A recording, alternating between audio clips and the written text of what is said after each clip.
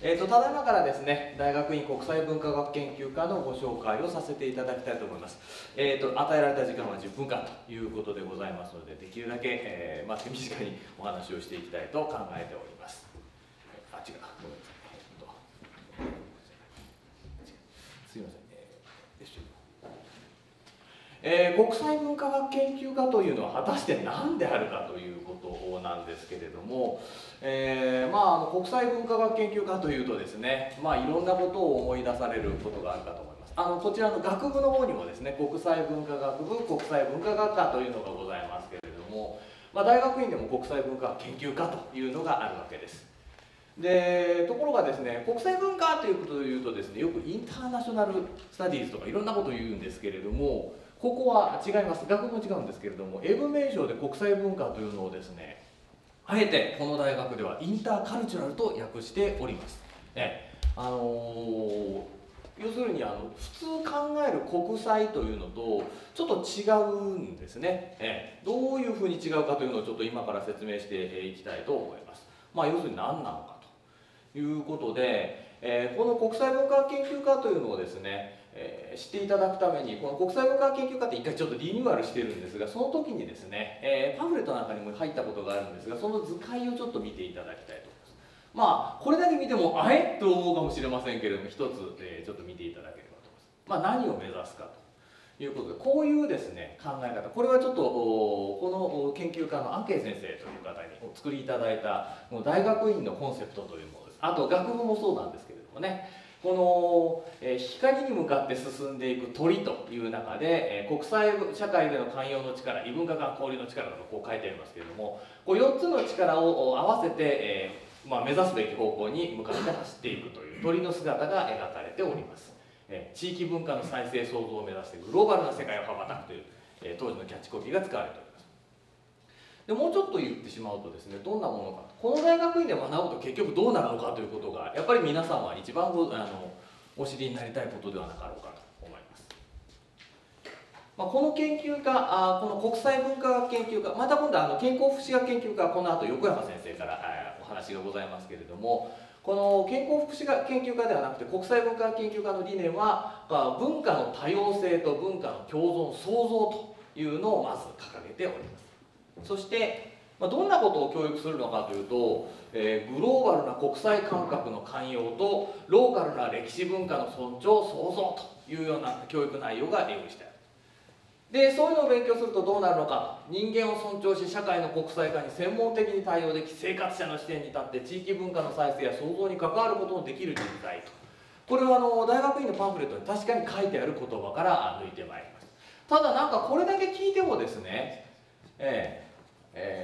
ー、ちょっといかえー、あんまりよくわからないというのがありますね、え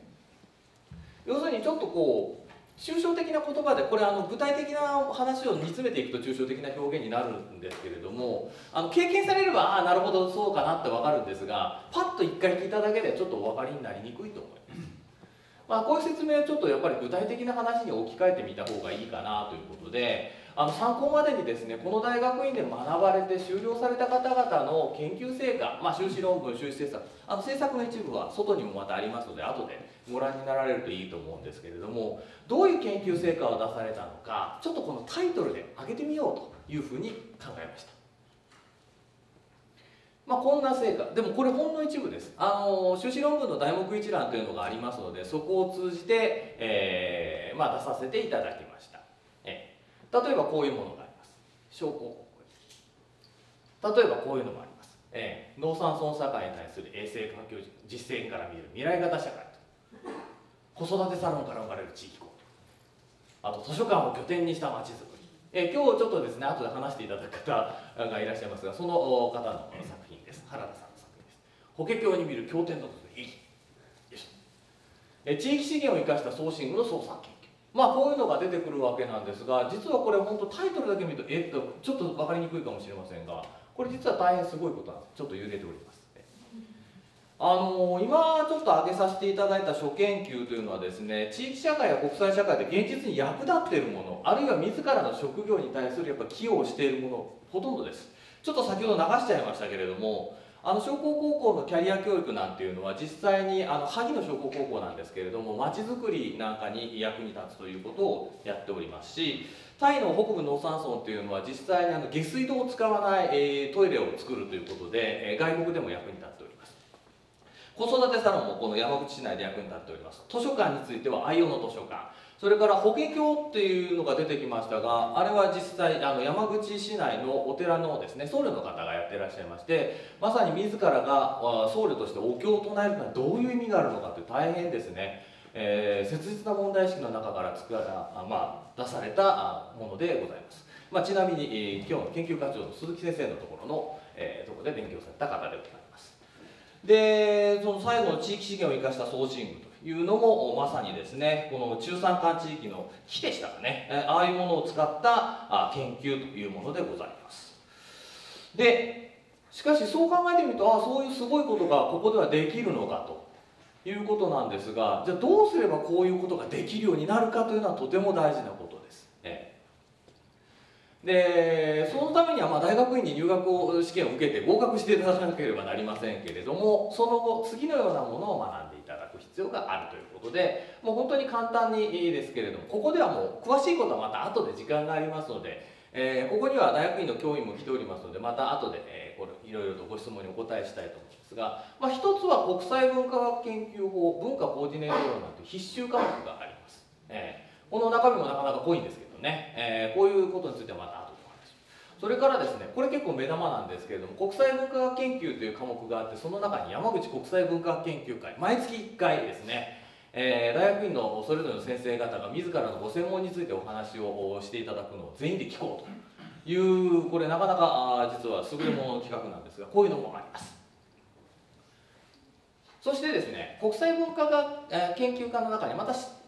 つの下の専攻があってこの国際文化系地域文化系というのがあります。そういう科目群の中からまあ両系統からバランスよくですね各種の科目を取っていただきます。自身の専攻や学問的な関心に応じてということでありますけどね。そして初めて修士論文や修士政策というものの執筆や創作にかかっていただきます。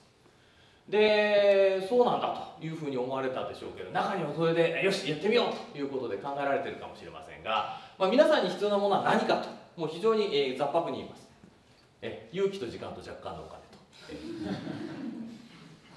それともう一つ大事なもの。やっぱり何かを知りたい極めたい体系的に理解したいと。そういうものへの意欲というのがやっぱり続かないといけません。でそして、え一歩踏み出す勇気ですね。やっぱ大学院っていうとちょっとこう敷居高いなって言われる方がいらっしゃるんです。昨日もちょっとですね、えー、私ちょっと床屋へ行きまして大学院でオープンキャンパスやりますよということだったんですけれどもやっぱちょっとこう大学院っていうと構えるっていうふうなことをおっしゃった方がおられました。そしてもう一つ年齢や職業というのはやっぱり関係ありません、えー、私はもうもう遅いからということはございません、えーそれからお仕事の関係ということもありますけれどもそのお仕事の中からまあ見出されるものというのも関係、えーえーまあ、ないです。あの職業の中から自分が学びたいというものをまあ目指すということであります。そしてあの大卒じゃないからと言われる方があります。単大卒なんかの方は時々あるんですけれどもそれには受験資格審査制度っていうのがあります。で資格審査に合格しますと大学院の受験資格を発生させるというのがあります。これ詳細はですねまた大学等へお問い合わせいただければと思います。で、まあ、こういうことでですね、えー、皆さんに、えー、こう必要なもの等も、